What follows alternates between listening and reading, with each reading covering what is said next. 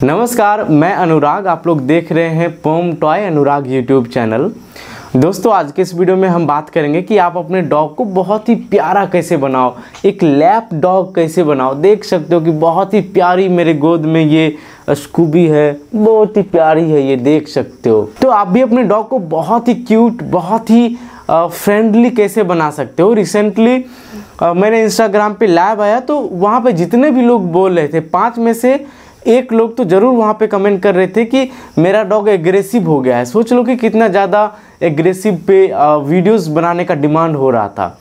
तो आप भी हमारे इंस्टाग्राम पे आ सकते हो लाइव में जुड़ सकते हो। इंस्टाग्राम पे नाम है पोम टॉय अनुराग डिस्क्रिप्शन में लिंक भी मिल जाएगा। चलिए दोस्तों, अब हम बात करते हैं कि अपने एग्रेसिव डॉग को कैसे आप फ्रेंडली बनाओ। दोस्तों, आपका डॉग एग्रेसिव हुआ है तो उसके पीछे कुछ कारण हो सकते हैं। और वो कारण मैं आपको बता देता हूँ। सबसे पहला है डोमिनेंसी मतलब वो किसी भी चीज़ पे अपना डोमिनेंसी दिखाना चाहता हो। जैसे कि आपके घर में कोई मेंबर है और उसको प्रोटेक्ट करने के लिए आपका डॉग एग्रेसिव हो जाता है। ठीक है? अगर ऐसा आपके डॉग में है तो नीचे कमेंट करिए। दूसरा ये कि आपका डॉग इरिटेट रहता हो। बहुत ही ज़्यादा गुस्से में रहता हो। आपके घर के बच्चे हो, बाहर के बच्चे हो या फिर आपके घर के कोई ऐसे मेंबर हो जो आपके डॉग को बहुत ही ज़्यादा चिढ़ाता रहता है, उसको चिटकाता रहता है तो इसकी वजह से आपका डॉग इरिटेट रहता है। और इरिटेशन में वो बाइट कर लेता है किसी को भी, आपके घर में किसी भी मेंबर को। अब दोस्तों, इसके पास जो तीसरा पॉइंट आता है, वो आता है टेरिटोरियल डोमिनेंसी मतलब कि आपका डॉग जिस जगह पे रह रहा है, उस जगह पे अगर कोई भी आए तो उसको अटैक करता है आपका डॉग लाइक कोई जानवर आ जाए, कोई ह्यूमन आ जाए कोई गेस्ट आ जाए तो सब पे आपका डॉग अटैक करने की कोशिश करता है और बाइट कर लेता है। अगर ऐसा सिचुएशन आपके डॉग में है तो आप कमेंट करिए। अब दोस्तों जो चौथा पॉइंट है, वो हो सकता है आपका डॉग एंजाइटी में हो, डिप्रेशन में हो, या फिर फियर में हो, डरा हुआ हो। ऐसे कंडीशन में भी डॉग एग्रेसिव हो जाते हैं और सबको बाइट करते हैं। तो दोस्तों, यहाँ पर तो इतने सारे कारण मैंने बता दिए हैं। और आपके डॉग में किस तरीके का एग्रेसिव बिहेवियर है, आप लोग कमेंट कर दीजिए ताकि मैं उसके अकॉर्डिंग आगे वीडियो बना पाऊँ। दोस्तों, आज के इस वीडियो में हम जो बात करेंगे, वो बात करेंगे इरिटेशन वाला। अगर आपका डॉग इरिटेट हो करके फिर बाइट कर रहा है तो ऐसे कंडीशन में अपने डॉग को कैसे सही कर पाओ तो यहाँ पे गर्मी काफ़ी है तो मैंने सोचा कि चलो, वैसे ही वीडियोस बना लेते हैं। 30 डिग्री से ज़्यादा टेम्परेचर यहाँ पे अभी है, वो भी रात के टाइम में। अब दोस्तों, यदि आप अपने डॉग को फ्रेंडली बनाना चाहते हो तो तीन पॉइंट हैं जिससे कि आप समझ सकते हो। सबसे पहला, अगर आपका डॉग ट्रेंड है पहले से ही तो आप उसको कैसे फ्रेंडली बनाओ? दूसरा ये कि अगर आपका डॉग ट्रेंड नहीं है तो फिर आप उसे कैसे फ्रेंडली बनाओ? तीसरा ये कि आप उसको डाइवर्ट करो और फिर फ्रेंडली बनाओ। जैसा कि आप इस वीडियो में देख रहे हो कि डॉग किस तरीके से अपना डोमिनेंसी दिखा रहा है। और बाइट करने की कोशिश कर रहा है वार्निंग दे रहा है। दोस्तों, चलिए, सबसे पहले पॉइंट पे हम बात करते हैं कि आप अपने डॉग को कैसे समझा सकते हो कि वो बाइट ना करे एग्रेसिव ना हो। कोई भी डॉग है जो कि बहुत ज़्यादा इरिटेट हो चुका है और हर चीज़ों पे अपना गुस्सा निकालता है बाइट करता है तो ऐसे डॉग को आप क्या करिए कि सबसे पहले एक दिन तक आप उसको डिस्टर्ब मत करिए। किसी भी तरीके से डिस्टर्ब मत करिए उससे डायरेक्टली अप्रोच होकर के बात मत करिए। मेरे बाबू है, मेरे सोना है, कोई भी बात आप कुछ भी मत करिए सिंपली आप उसको छोड़ दीजिए। ठीक है? अब दोस्तों, जो डॉग है नॉर्मली एक दिन में तो उसका गुस्सा शांत हो ही जाता है।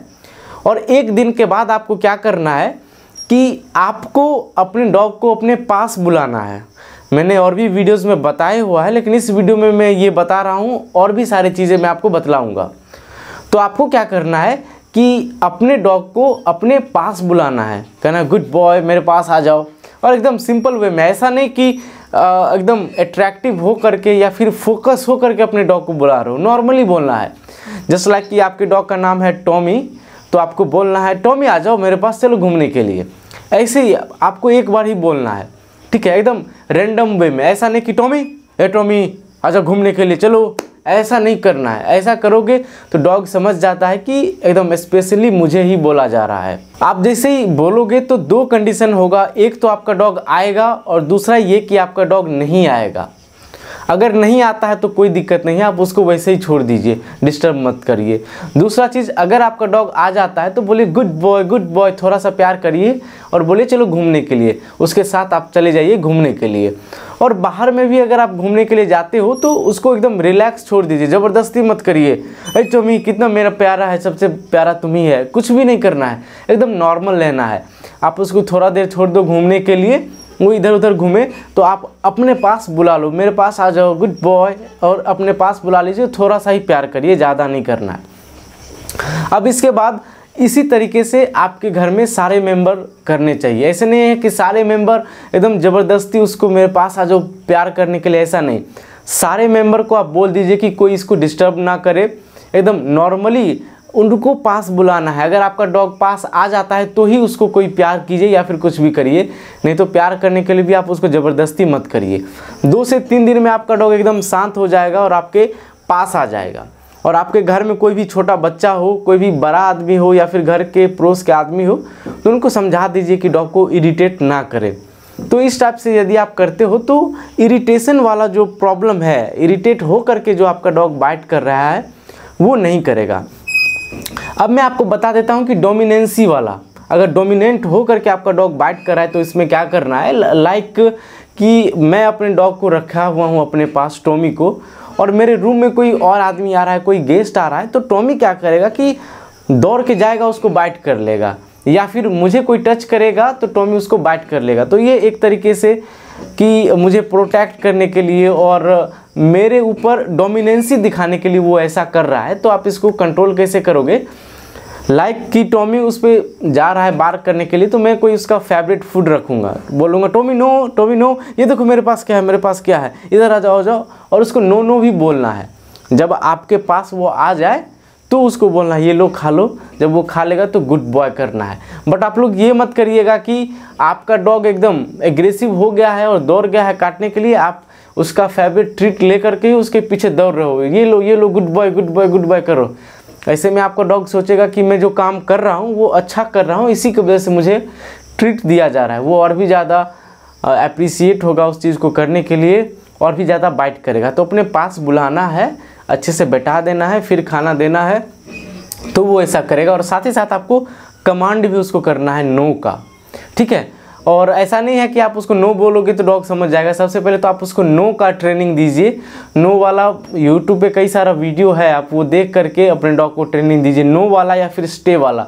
दोनों में से कोई एक चीज़ दोनों लगभग बराबर ही काम करेगा। ठीक है? तो इस तरीके से यदि आप करोगे तो माइंड ब्लोइंग तरीके से काम करेगा। अब मैं बता देता हूँ टॉमी के बारे में। जब मैं टॉमी को दिल्ली से यहाँ पे ले आया था तो वो बहुत ज़्यादा एग्रेसिव हो गया था। वो किस लिए? मेरे घर में काफ़ी छोटे बच्चे हैं। इरिटेट कर देता था उसको और अपने साथ भगाता था इधर उधर सारे जगह भगाता था। बड़े लोग भी उसको चिढ़ा देते थे जिसके वजह से उसका जो टेम्परामेंट है वो चेंज हो गया और बहुत ज़्यादा एग्रेसिव हो गया। सभी को घर में काटने लग गया। तब मैंने क्या किया कि सारे को मैंने मना किया सारे को शांत किया और उसके बाद इसी तरीके से मैंने बॉन्डिंग बनाना स्टार्ट किया। बोला चलो जब आ, मैं चलने के लिए उसको बोलता था वो खुद आ जाता था तो मुझे इससे ये पता चलता था कि वो अभी अच्छा मूड में है। अभी मैं इसको जो बोलूँगा, वो करेगा। तो इस तरीके से वो मेरे पास आता था और मैंने उसको बहुत ही ज़्यादा फ्रेंडली बना लिया। इसी तरीके से आप भी अपने डॉग को फ्रेंडली बना सकते हो। बट आप लोग नीचे कमेंट करिए कि आपके डॉग में किस तरीके का एग्रेसिव वाला बिहेवियर आया है, ताकि मैं उस तरीके से आगे वीडियोस बनाओ और आपके डॉग के लिए हेल्पफुल हो। दोस्तों ये वीडियो आपको कैसा लगा? कमेंट करके बताओगे तो मुझे और भी ज़्यादा खुशी होगी। और साथ ही साथ इस वीडियो को अपने फ्रेंड को शेयर कर दो जिसका डॉग आपको एग्रेसिव लग रहा हो। क्योंकि स्टार्टिंग में थोड़ा बहुत एग्रेसिव होगा बट बाद में और भी ज़्यादा एग्रेसिव हो जाएगा। फैमिली के लिए भी प्रॉब्लम कर सकता है। इसलिए अपने फ्रेंड फैमिली सारे का केयर करिए सा, सारे लोगों को ये वीडियो सेंड कर दीजिए। और हमारे इस चैनल को सब्सक्राइब कर लीजिए। इसी तरीके के रेड कलर में नीचे आपको सब्सक्राइब मिलेगा और बाद में बेल आइकन को भी दबा दीजिएगा। दोस्तों, आप लोग अपना ख्याल रखिए। हम लोग मिलते रहेंगे बहुत सारे वीडियोज़ में। तब तक के लिए टेक केयर बाय बाय जय हिंद।